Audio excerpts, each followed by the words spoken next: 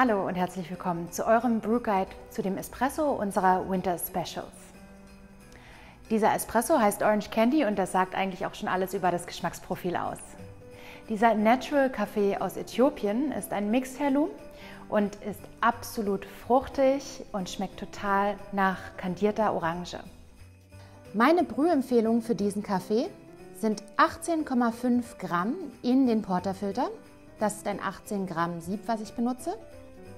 Und 37 Gramm raus.